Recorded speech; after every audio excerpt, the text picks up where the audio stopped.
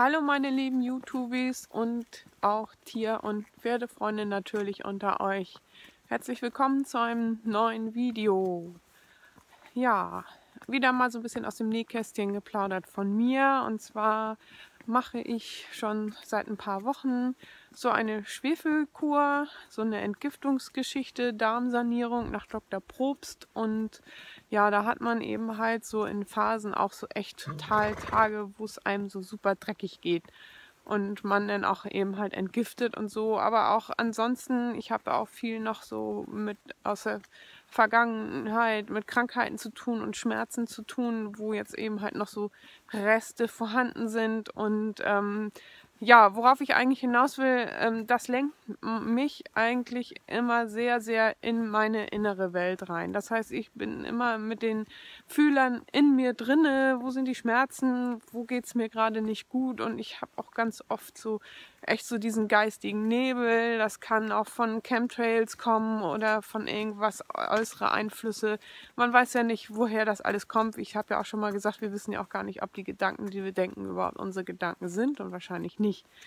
Egal, das will ich jetzt auch gar nicht erzählen, aber es ist eben halt so, dass ich, also wenn ich gerade, wenn ich hier so einen Ausritt mache, so in unserem wunderschönen Wald, mit meinem wunderschönen Islandpferd und oder ich mit meinem Hund im Wald bin, dass ich das gar nicht mitkriege und so die äußere Welt gar nicht mehr erfahre. Und auch eben, ich hatte das, glaube ich, auch schon mal in einem Video gesagt, ich weiß gar nicht, ob ich das schon veröffentlicht habe, ähm, wenn man zu feinstofflich wird, dass der Körper sich dann auch irgendwie auflöst. Und äh, wichtig ist einfach, ähm, wir sind ja nun mal hier und jetzt in diesem Spiel des Lebens, dass wir auch dann, oder das habe ich auch ganz besonders gemerkt, versuchen auch unsere äußeren Sinne, die wir mitbekommen haben, zu nutzen.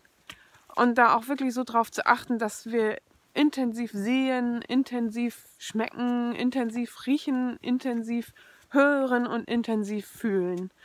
Weil das, dass man sich nicht zu sehr in seiner inneren Welt verliert, weil da kommt man ganz schlecht wieder raus. Also, und das ist eben halt auch, wenn man Tiere hat, die geben einem ja dieses ganz besonderes äh, intensive Fühlgefühl, sag ich mal. Man kann sie ja wirklich mit den allen Sinnen wunderbar erleben, indem man sie anfasst und ihre Wärme äh, spürt und ihren Geruch riecht und all solche Sachen. Also in der Natur sein und mit Tieren zusammen sein ist da also wirklich die absolute Wohltat und das ist ganz, ganz wichtig, all unsere Sinne auch einzusetzen, weil stellt euch vor, irgendwann scheiden wir ja dahin mit unser, oder unser Körper scheidet dahin, sagen wir so. Und dann sind wir nur noch feinstofflich. Das heißt, wir haben diese menschlichen Sinne gar nicht mehr. Deswegen, wir wollen das ja jetzt erfahren und ähm, diese Sinne auch nutzen, weil deswegen sind wir hier, diese Erfahrung zu machen. Und irgendwann, wenn wir feinstofflich sind, können wir nicht mehr irgendwo einem Tier ins Fell greifen oder, oder, oder. Und das ist ganz, ganz wichtig. Deswegen denkt daran, äh, nutzt das, was ihr hier auf der Erde mitbekommen habt. So, dann hoffe ich, dass euch das Video gefallen hat. Gebt mir einen Daumen nach oben, wenn das so ist. Wenn nicht, gebt mir einen Daumen nach unten, abonniert meinen Kanal, stellt Fragen, schreibt Kommentare. Ähm, ja, drückt das Glöckchen, dann verpasst ihr kein Video mehr. Und dann sage ich Go Vegan und Namaste. Tschüss.